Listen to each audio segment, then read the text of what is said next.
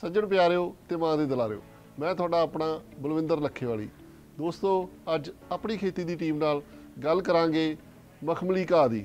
ਮਖਮਲੀ ਅਹਿਸਾਸ ਮਨੁੱਖ ਨੂੰ ਸ਼ੁਰੂ ਤੋਂ ਹੀ ਬੜਾ ਅਟਰੈਕਟ ਕਰਦਾ ਹੈ ਤੇ ਜਦੋਂ ਘਾਹ ਦਾ ਮੈਦਾਨ ਤਿਆਰ ਕੀਤਾ ਜਾਂਦਾ ਉਦੋਂ ਵੀ ਜੀ ਕਰਦਾ ਹੁੰਦਾ ਵੀ ਘਾਹ ਦਾ ਮੈਦਾਨ ਹੈ, ਉਹ ਪੂਰਾ ਗੱਦਾਦਾਰ ਹੋਵੇ, ਮਖਮਲੀ ਹੋਵੇ।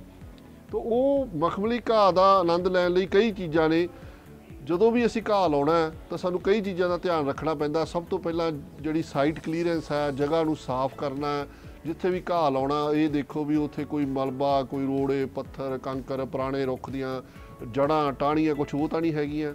ਜੇ ਤੁਹਾਡਾ ਏਰੀਆ ਬਹੁਤ ਜ਼ਿਆਦਾ ਵੱਡਾ ਤੁਹਾਨੂੰ ਲੱਗਦਾ ਕਿ ਤੁਹਾਡੀ ਜ਼ਮੀਨ ਦੇ ਵਿੱਚ ਖਾਰਾਪਣ ਆਦ ਹੋ ਸਕਦਾ ਤਾਂ ਮਿੱਟੀ ਪਾਣੀ ਟੈਸਟ ਕਰਾਉਣਾ ਵੀ ਲਾਜ਼ਮੀ ਹੋ ਜਾਂਦਾ ਦੋਸਤੋ, ਘਾਹ ਦੀਆਂ ਜਿਹੜੀਆਂ ਚਾਰ ਮੁੱਢਲੀਆਂ ਲੋੜਾਂ ਨੇ, ਇੱਕ ਉਸ ਨੂੰ ਸੂਰਜ ਦੀ ਰੋਸ਼ਨੀ ਚਾਹੀਦੀ ਹੈ, ਹਵਾ ਚਾਹੀਦੀ ਹੈ ਪਾਣੀ ਚਾਹੀਦਾ ਤੇ ਖਾਦਾਂ ਚਾਹੀਦੀਆਂ ਨੇ। ਮਤਲਬ ਬਿਲਕੁਲ ਜਿੱਥੇ ਸੂਰਜ ਸਿੱਧੀਆਂ ਸੂਰਜ ਦੀਆਂ ਕਿਰਨਾਂ ਪੈਂਦੀਆਂ ਨੇ, ਉੱਥੇ ਘਾਹ ਬਹੁਤ ਸੋਹਣਾ ਹੁੰਦਾ। ਹਵਾ ਦਾ ਆਦਾਨ ਪ੍ਰਦਾਨ ਮਿੱਟੀ 'ਚ ਹੋਣਾ ਜ਼ਰੂਰੀ ਆ ਚੀਕਨੀ ਮਿੱਟੀ ਬਹੁਤ ਜ਼ਿਆਦਾ ਹੋਵੇ ਤਾਂ ਉੱਥੇ ਸਮੱਸਿਆ ਆ ਜਾਂਦੀ ਆ। ਪਾਣੀ ਦਾ ਪ੍ਰਬੰਧ ਘੱਟ ਪਾਣੀ ਵੀ ਮਾਰਦਾ, ਵੱਧ ਪਾਣੀ ਵੀ ਮਾਰਦਾ। ਤੇ ਇਸ ਮੁੱਦੇ, ਮੱਦੇ ਨੂੰ ਨਜ਼ਰ ਰੱਖਦਿਆਂ ਹੋਇਆਂ ਸਾਡਾ ਜਿਹੜਾ ਪਾਣੀ ਦਾ ਪ੍ਰਬੰਧ ਆ, ਜਲ ਨਿਕਾਸ ਹੈ ਜਿਹਨੂੰ ਅਸੀਂ ਇੰਗਲਿਸ਼ ਦੇ ਵਿੱਚ ਡਰੇਨੇਜ ਕਹਿ ਦਿੰਦੇ ਆ, ਵੀ ਪਾਣੀ ਜੇ ਮੀਂਹ ਪੈਂਦਾ ਜਾਂ ਐਕਸੈਸ ਵਾਟਰ ਸਾਡੇ ਤੋਂ ਲੱਗ ਗਿਆ, ਤਾਂ ਨਾਲ ਦੀ ਨਾਲ ਉੱਥੋਂ ਡਰੇਨ ਹੋ ਜੇ। ਇਹਦਾ ਬਹੁਤ ਕਿ ਥਿਆ- ਖਿਆਲ ਰੱਖਣਾ ਪੈਂਦਾ। ਜ਼ਮੀਨ ਤੁਹਾਡੀ ਪੱਧਰੀ ਹੋਣੀ ਚਾਹੀਦੀ ਹੈ ਸਮਤਲ ਹੋਣੀ ਚਾਹੀਦੀ ਹੈ ਪਰ ਜਦੋਂ ਜ਼ਮੀਨ, ਜੇ ਤੁਹਾਡਾ ਏਰੀਆ ਬਹੁਤ ਵੱਡਾ ਹੈ ਤਾਂ 50 ਫੁੱਟ ਦੇ ਕਰੀਬ ਜੇ ਤੁਹਾਡੀ ਲੈਂਥ ਹੈ ਤਾਂ ਔਨ ਐਨ ਐਵਰੇਜ ਤੁਹਾਡੇ ਕੋਲੇ ਅੱਧੇ ਫੁੱਟ ਤੋਂ 1 ਫੁੱਟ ਦੀ ਢਲਾਣ ਰੱਖ ਲੈਣੀ ਚਾਹੀਦੀ ਹੈ ਤਾਂ ਜੋ ਡਰੇਨੇਜ 'ਚ ਕੋਈ ਪ੍ਰੋਬਲਮ ਨਾ ਆਵੇ। ਪਾਣੀ ਕਦੇ ਵੀ ਘਾਹ ਨੂੰ ਝੋਨੇ ਵਾਂਗੂ ਨਹੀਂ ਲਾਉਣਾ ਚਾਹੀਦਾ। ਪਾਣੀ ਲਾਉਣ ਦੇ ਸਾਡੇ ਕੋਲੇ ਕਈ ਤਰੀਕੇ ਨੇ, ਇੱਕ ਤਾਂ ਲੋਕ ਝੋਡੇ ਵਾਂਗੂ ਲਾਉਂਦੇ ਆ, ਬਿਲਕੁਲ ਗਲਤ ਆ। ਫਿਰ ਪਾਈਪ ਨਾਲ ਲਾਇਆ ਜਾਂਦਾ, ਪਾਈਪ ਕਈ ਵਾਰੀ ਛੱਡ ਕੇ ਬਹੁਤ ਜ਼ਿਆਦਾ ਪਾਣੀ ਲਾ ਦਿੱਤਾ ਜਾਂਦਾ। ਸਪ੍ਰਿੰਕਲਰ ਵਿਧੀ ਆ ਜਿਹੜੀ, ਉਹ ਸਭ ਤੋਂ ਬਿਹਤਰ ਆ, ਉਹਦੇ ਨਾਲ ਪਾਣੀ ਘੱਟ ਲੱਗਦਾ, ਛੇਤੀ ਲੱਗ ਜਾਂਦਾ।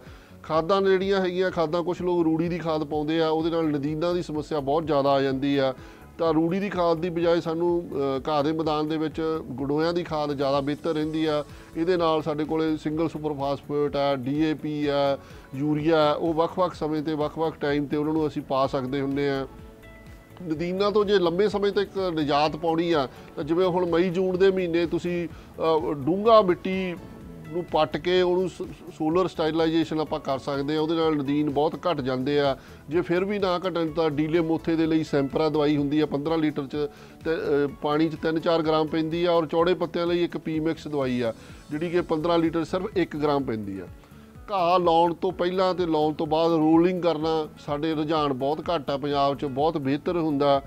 ਸਿਉਂਕ ਦੀ ਜੇ ਸਮੱਸਿਆ ਹੋਵੇ ਤੇ ਸਿਉਂਕ ਦਾ ਦੇਸੀ ਇਲਾਜ ਆ, ਨਿੰਮ ਬੇਸਡ ਕਈ ਪ੍ਰੋਡਕਟ ਆ, ਜਿਹੜੇ ਅਸੀਂ ਵਰਤ ਸਕਦੇ ਹੁੰਨੇ ਆ। ਫਿਰ ਇੱਕ- ਇੱਕ ਘੜਾ ਵਿਧੀ ਹੈਗੀ ਆ, ਘੜੇ ਦੇ ਵਿੱਚ ਮੱਕੀ ਦੇ ਜਿਹੜੇ ਗੁੱਲ ਆ, ਉਹ ਪਾ ਦੇਈਦੇ ਆ, ਉਹਨੂੰ ਦੱਬ ਦੇਈਦਾ, ਮਹੀਨੇ ਦੋ ਮਹੀਨੇ ਬਾਅਦ ਨਿੰਮ ਉਹ ਕੱਢ ਦੇਈਦਾ, ਨਹੀਂ ਤਾਂ ਫਿਰ ਕਲੋਰੋਪੈਰੀਫਾਸ ਦਵਾਈ ਤਾਂ ਹੈ ਹੀ, ਹੈਗੀ ਆ।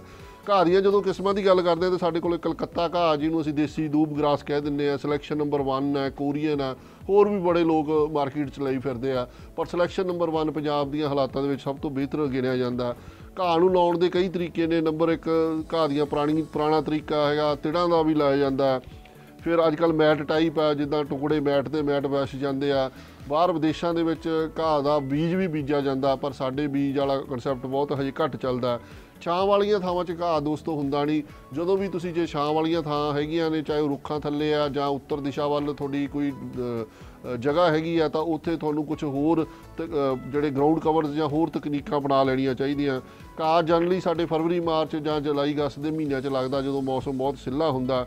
ਘਾਹ ਕੱਟਣ ਦੇ ਲਈ ਵੀ ਜਿਹੜੀਆਂ ਸਾਡੇ ਕੋਲੇ ਕਈ ਤਰ੍ਹਾਂ ਦੀਆਂ ਮਸ਼ੀਨਾਂ ਨੇ, ਹੱਥ ਨਾਲ ਚੱਲਣ ਵਾਲੀਆਂ, ਬਿਜਲੀ ਨਾਲ, ਡੀਜ਼ਲ ਨਾਲ, ਟਰੈਕਟਰ ਨਾਲ ਅਨੇਕਾਂ ਤਰ੍ਹਾਂ ਦੀਆਂ ਮਸ਼ੀਨਾਂ ਨੇ, ਉਹਨਾਂ ਦੀ ਵਰਤੋਂ, ਲੋੜ ਅਸੀਂ ਉਹਦੇ ਹਿਸਾਬ ਨਾਲ ਆ। ਕੁਝ ਲੋਕ ਇਹ ਮੰਨਦੇ ਹੁੰਦੇ ਆ ਕਿ ਕਈ ਲੋਕਾਂ ਦਾ ਇਹ ਫੋਨ ਆਉਂਦਾ ਕਿ ਡਾਕਟਰ ਸਾਹਿਬ ਘਾਹ ਦੀ ਕਿਸਮ ਬਹੁਤ, ਕਿਹੜੀ ਬਹੁਤ ਵਧੀਆ। ਘਾਹ ਤਾਂ ਦੋਸਤੋ ਜਿਹੜਾ ਕਲਕੱਤਾ ਘਾਹ, ਦੇਸੀ ਘਾਹ ਵੀ ਬਹੁਤ ਵਧੀਆ। ਘਾਹ ਦੀ ਖੂਬਸੂਰਤੀ ਤੁਹਾਡੀ ਮੇਨਟੇਨੈਂਸ ਤੇ ਡਿਪੈਂਡ ਕਰਦੀ ਆ। ਸੋ ਜਿੰਨਾ ਘਾਹ ਨੂੰ ਸੋਹਣਾ ਸੰਭਾਲੋਗੇ ਉਨਾ ਹੀ ਤੁਹਾਡਾ ਜਿਹੜਾ ਘਾਹ ਮਖਮਲੀ ਤੇ ਸੋਹਣਾ ਬਣੂਗਾ। ਤੇ ਨਹੀਂ ਜਿੱਡਾ ਮਰਜ਼ੀ ਮਹਿੰਗਾ ਘਾਹ ਲਾ ਕੇ ਵੀ ਤੁਸੀਂ ਉਹ, ਮਤਲਬ ਕੋਈ ਵਧੀਆ ਰਿਜ਼ਲਟ ਨਹੀਂ ਪ੍ਰਾਪਤ ਕਰ ਸਕਦੇ। ਅੱਜ ਦੇ ਦਿਨ ਲਈ ਇੰਨਾ ਹੀ, ਫਿਰ ਕਿਸੇ ਦਿਨ ਫਿਰ ਕਿਸੇ ਹੋਰ ਵਿਸ਼ੇ ਨਾਲ ਗੱਲ ਕਰਾਂਗੇ। ਹੱਸਦੇ ਰਹੋ, ਮੁਸਕਰਾਉਂਦੇ ਰਹੋ, ਵੰਨ ਸਵੰਨੇ ਫੁੱਲ ਬੂਟੇ ਲਾਉਂਦੇ ਰਹੋ ਤੇ ਪਹਿਲਾਂ ਲੱਗਿਆਂ ਨੂੰ ਬਚਾਉਂਦੇ ਰਹੋ। ਰੱਬ ਰੱਖਾ।